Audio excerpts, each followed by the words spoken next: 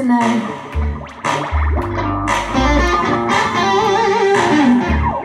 Once again, we're villains.